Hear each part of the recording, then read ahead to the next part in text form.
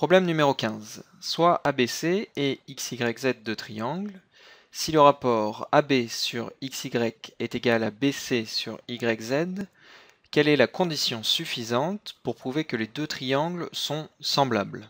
Alors les triangles semblables, c'est des triangles qui vont avoir la même forme, hein, comme leur nom l'indique. Ils vont avoir exactement les angles de même mesure. Par contre, ils peuvent être rétrécis, agrandis, tournés l'un par rapport à l'autre.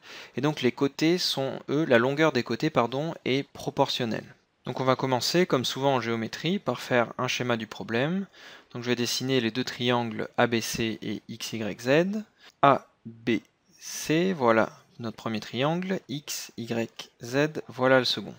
Donc dans l'énoncé, on sait que AB sur XY, donc AB sur XY, est égal à BC sur YZ. Donc je vais les surligner en couleur. AB sur XY est égal à BC sur YZ. Alors déjà, est-ce que ça, ça suffit pour prouver que les deux triangles sont semblables? Donc bien évidemment, la réponse est non. Donc si je refais un contre-exemple ici sur la droite, donc imaginons que je garde par exemple un rapport de 2 environ entre les deux triangles. Donc voilà le premier côté en vert pour le premier triangle. Je trace le même côté deux fois plus petit pour le second triangle. Ensuite, deuxième couleur orange, je trace le deuxième côté du premier triangle. Voilà, et toujours avec un rapport 2, deux fois plus petit, je trace le côté, deuxième côté du second triangle.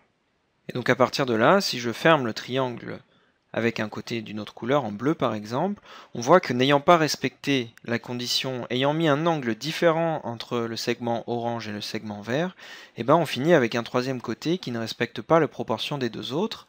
Les deux autres avaient environ un rapport de 2, et donc là on se retrouve avec deux triangles qui ont le troisième côté qui a à peu près la même longueur, Clairement, ces deux triangles que j'ai dessinés à droite ne sont pas semblables. Ce contre-exemple nous montre que la simple proportionnalité entre deux côtés n'est pas suffisante pour montrer que deux triangles sont semblables. Donc ensuite, parmi les propositions proposées, laquelle va être suffisante pour montrer que ces deux triangles sont semblables?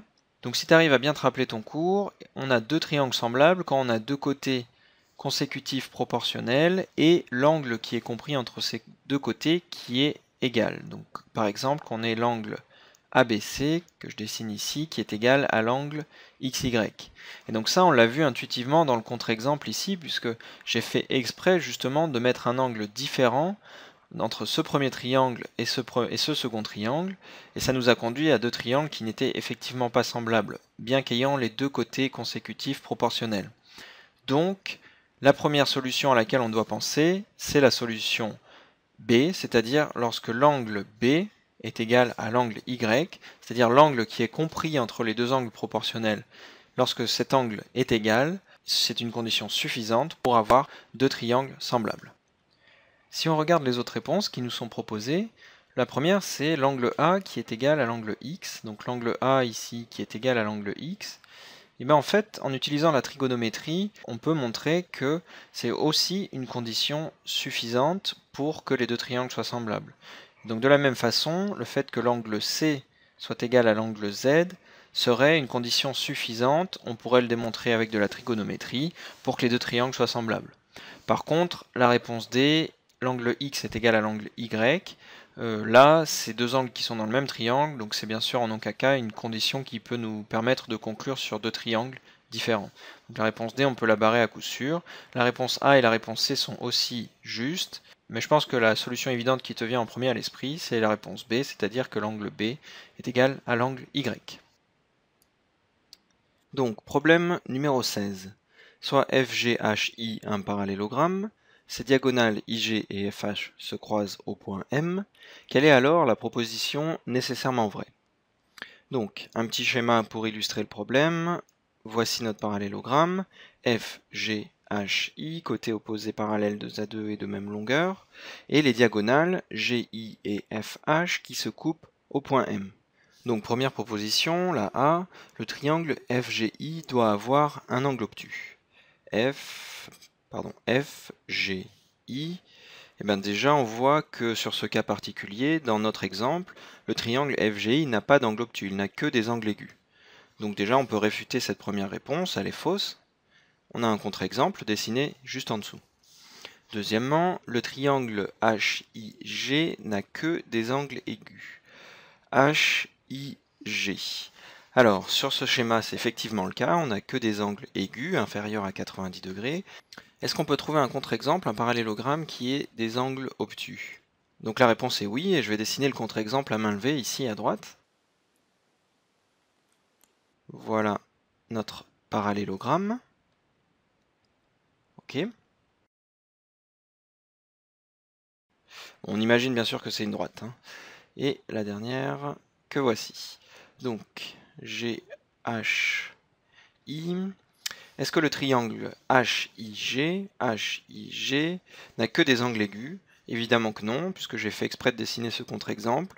On voit bien ici qu'on a un angle obtus. Donc cette seconde réponse n'est pas nécessairement vraie. On peut trouver des parallélogrammes, et c'est ce que j'ai dessiné à droite, dans lequel on a un angle obtus. Ok? Donc proposition suivante, réponse C, le triangle FMG, FMG est superposable au triangle HMG, HMG. Alors, je rappelle rapidement, deux triangles sont superposables si ils ont exactement les mêmes angles et si leurs côtés sont de même longueur. Donc par exemple, si je prends le côté FG, on voit qu'il n'est pas de la même longueur que le côté GH. De la même façon, si je regarde cet angle formé au point M, on voit bien qu'il est obtus alors que cet angle formé ici est aigu. Donc une fois de plus, le dessin, le schéma qu'on a fait ici est un contre-exemple, donc cette proposition n'est pas nécessairement vraie, on peut barrer cette réponse C. Alors logiquement, il ne reste plus qu'une réponse, ça doit être la bonne, c'est ce qu'on va vérifier, donc réponse D, le triangle GMH est superposable au triangle IMF. GMH, voilà le premier triangle, et le second c'est IMF. Ok, donc je les ai surlignés en rouge ici. Alors, qu'est-ce qu'on peut dire sur ces deux triangles?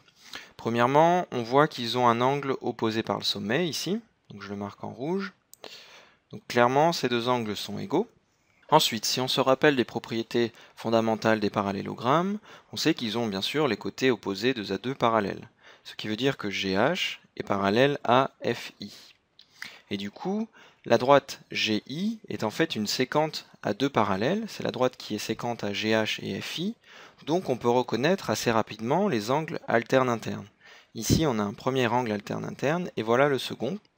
Donc ces deux angles ont la même mesure. Je vais les noter avec deux barres pour ne pas les confondre.